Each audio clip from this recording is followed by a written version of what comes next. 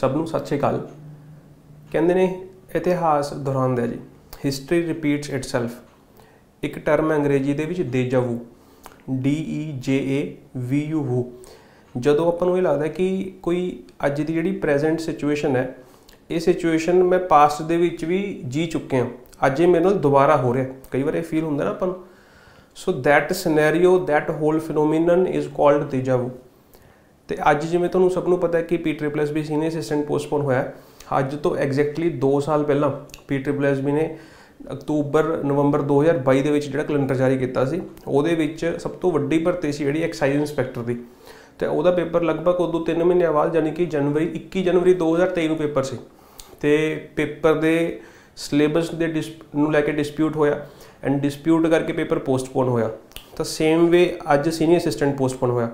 ਤੇ ਉਦੋਂ ਸਟੂਡੈਂਟਸ ਨੂੰ ਮੈਂ ਇੱਕੋ ਹੀ ਗੱਲ ਸਮਝਾਈ ਸੀ ਕਿ ਅਗਰ ਮੈਂ ਇੰਗਲਿਸ਼ ਦੀ ਜਿਵੇਂ ਗੱਲ ਕਰਾਂ ਕਿ ਤੁਸੀਂ ਪਹਿਲਾਂ ਆਪਣੇ ਸਿਲੇਬਸ ਨੂੰ ਚੈਨਲਾਈਜ਼ ਕਰੋ ਸਿਲੇਬਸ ਨੂੰ ਪੂਰਾ ਕਰੋ। ਜਿਹੜੀਆਂ ਚੀਜ਼ਾਂ ਕਮੀਆਂ ਪੇਸ਼ੀਆਂ ਨੇ ਉਹਨਾਂ ਨੂੰ ਦੂਰ ਕਰੋ। ਬਹੁਤ ਸਾਰੇ ਸਟੂਡੈਂਟਸ ਨੇ ਤਾਂ ਸ਼ੁਰੂ ਹੀ ਨਹੀਂ ਕੀਤੀ ਸੀ।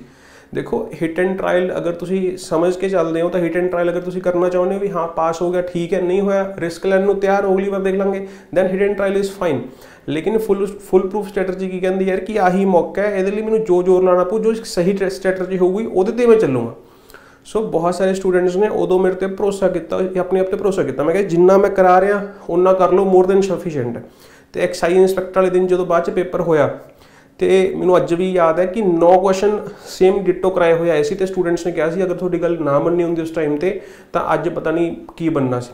ਸੋ ਜਦੋਂ ਵੀ ਚੀਜ਼ਾਂ ਬਦਲਦੀਆਂ ਨੇ ਪੋਸਟਪੋਨਮੈਂਟ ਹੁੰਦੀ ਹੈ ਜਾਂ ਕੋਈ ਵੀ ਚੇਂਜਸ ਆਉਂਦੀਆਂ ਨੇ, ਤਾਂ ਉਦੋਂ ਟਾਈਮਲਾਈਨ ਚੇਂਜ ਹੁੰਦੀ ਹੈ। ਤੁਹਾਨੂੰ ਆਪਣੀ ਸਟ੍ਰੈਟਜੀ ਵੀ ਉਸ ਅਕੋਰਡਿੰਗ ਮੈਂ ਅਡਾਪਟ ਕਰਨੀ ਪੈਂਦੀ ਹੈ।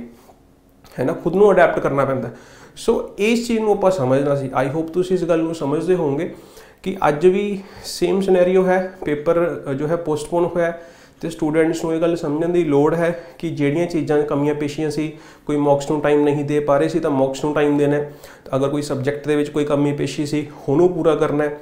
ਤੇ ਅਗਰ ਮੈਨੂੰ ਲੱਗਦਾ ਕਿ ਰਿਵੀਜ਼ਨ ਲਈ ਬਾਅਦ ਚ ਟਾਈਮ ਨਹੀਂ ਮਿਲਣਾ ਸੀ, ਤਾਂ ਸਿਲੇਬਸ ਉਸ ਹਿਸਾਬ ਨਾਲ ਤੁਸੀਂ ਸਪੀਡ ਅਪ ਕਰਨਾ ਹੈ ਕਿ ਬਾਅਦ ਦੇ ਵਿੱਚ ਰਿਵੀਜ਼ਨ ਦੇ ਲਈ ਮੌਕਸ ਦੇ ਲਈ ਸਾਰੀਆਂ ਚੀਜ਼ਾਂ ਲਈ ਟਾਈਮ ਮਿਲ ਸਕੇ। ਸੋ ਇੱਕ ਬਹੁਤ ਵਧੀਆ ਪੋਜ਼ਿਟਿਵ ਤਰੀਕੇ ਨਾਲ ਇਹਨੂੰ ਲੈ ਕੇ ਚੱਲੋਗੇ। ਤਾਂ ਜਿਹੜੀਆਂ ਕਮੀਆਂ ਪੇਸ਼ੀਆਂ ਸੀ, ਉਹਨੂੰ ਦੂਰ ਕਰਕੇ ਤੇ ਆਪਣੀ ਤਿਆਰੀ ਨੂੰ ਹੋਰ ਮੁਕੰਮਲ ਕਰੋ। ਜਿਹੜਾ ਇਨਸਾਨ ਮੌਕੇ ਦਾ ਫਾਇਦਾ ਨਹੀਂ ਚੱਕ ਸਕਦਾ, ਮੌਕਾ ਪ੍ਰਸ ਨਹੀਂ ਹੋ ਸਕਦਾ, ਉਹ ਕਿਵੇਂ ਸਰਵਾਈਵ ਕਰੇਗਾ?